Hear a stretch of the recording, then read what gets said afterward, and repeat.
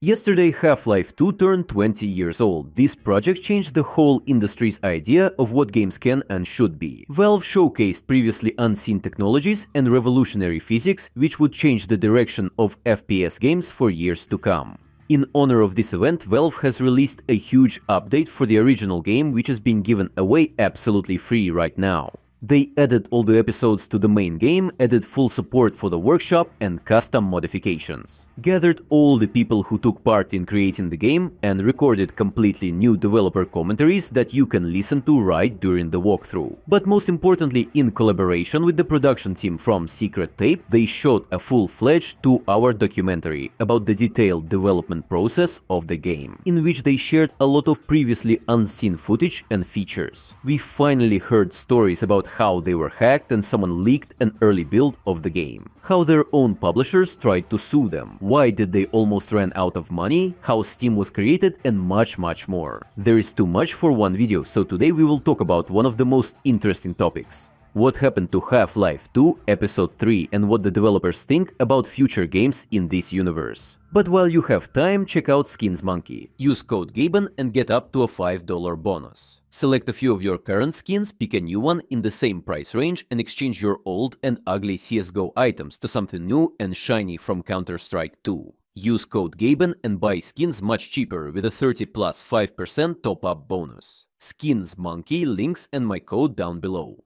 Firstly, it is worth noting that this is not about Half-Life 3, which is a hot topic due to huge amounts of new leaks and rumors. And also not about other iterations of Half-Life 3 which have been cancelled in the last 10 years. This is the third episode, the development of which stopped in 2007. However, we will also discuss the new game. After the development of the first Half-Life and the difficulties of Half-Life 2, Valve developers came to the conclusion that creating separate games in a short period of time is too energy consuming and not very productive. Instead, they decided to divide the team into different groups that worked in parallel. Thanks to this, they could afford to release new content almost every 12 months. Thus, the idea of an episodic model was born. After the successful release of the first and second episodes, something unexpected happened. The team deadlocked themselves.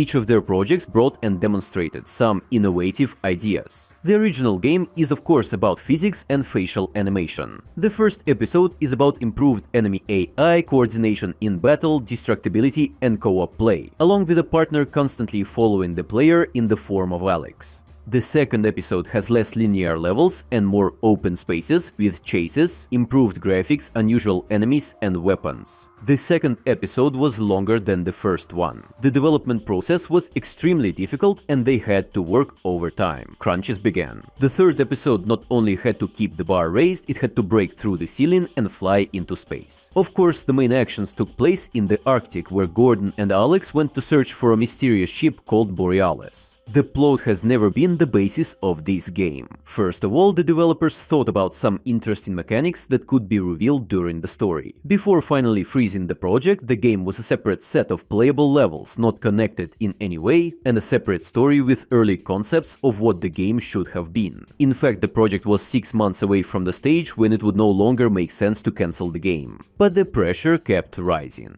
In their opinion, the existing features were not cool enough to be the foundation of the next Half-Life. They simply could not come up with something more significant. Alongside this, Valve delegated the development of the fourth episode to Arkane, where the action took place in Ravenholm and the main character was Adrian Shepard. However, in conversations with Valve, even they admitted that they had difficulties brainstorming some innovative mechanics. One of the key features in the third episode was supposed to be a freeze gun. Using it, you could create ice objects of any shape or forms. The first mode allowed freezing the space by shooting an ice beam. Make a small wall to protect yourself from enemy attacks. Small stairs or slides for easier navigation on the map. Or activate the second mode and create an ice path along which you could move faster and more efficiently during the combat sequences. At the same time, the bullets will affect this structure and it will begin to crack and collapse. Of course, you could freeze enemies and play with them using physics. After such a long time, it seems that this idea lay in one of the main mechanics for Kelvin from the new Valve game called Deadlock. The second interesting feature is a strange creature in the form of slime balls. We have repeatedly seen leaks and even small prototypes from the community, but devs have finally shared official information. This blob could take absolutely any form. After being hit, it scatters into pieces but then gathers together. Each piece exists like a separate entity and if necessary, they could attack enemies independently of each other. They could pass through fences, destroy objects and move in unusual conditions. Their main attack is essentially sucking the enemy in. Whether it was a small headcrab or a full-fledged zombie, the blob simply consumed the creature entirely. They fully interacted with physical objects and most likely they could be torn or you could cover yourself with obstacles from being eaten. Little bit later, this technology was reused in gels for the second portal. It is important to note that the developers haven't talked about other interesting features. In 2011, the community found mentions of some in-game entities. Of course, there were the Blob and the Ice Gun, which were finally officially confirmed. But additionally, there were weapons called Weaponizer, Teleporter, Flamethrower and Flechette. For those who suddenly don't know, these are projectiles fired by hunters in the second episode. Most of these items will remain a mystery, but they showed Weaponizer for a split second, either by accident or on purpose. According to rumors, with the help of this weapon it was possible to control the physical properties of objects. You could heat metal or freeze water so literally weaponize normal objects and use them as weapons.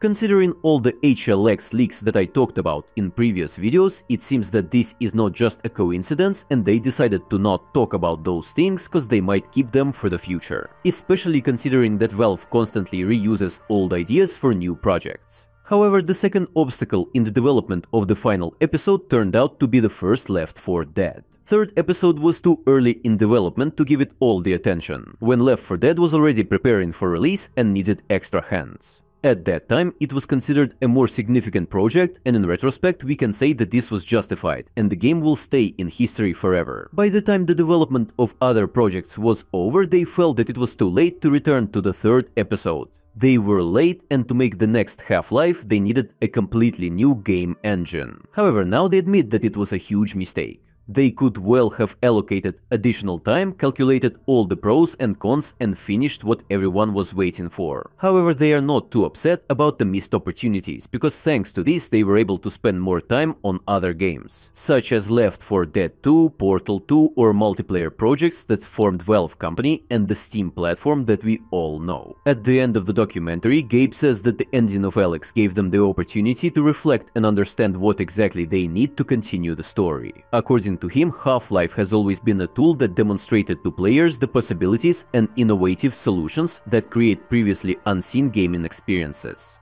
And as he believes, at the moment the gaming industry has a lot of space to use such opportunities again. Roughly speaking, he's like before we were stupid, but we did not realize it. But after releasing Half-Life Alyx, we finally understood that we made an error. And now we not only see how it can be done, we see how it needs to be done using the opportunities that have appeared in the gaming industry, especially with the new Source 2 engine.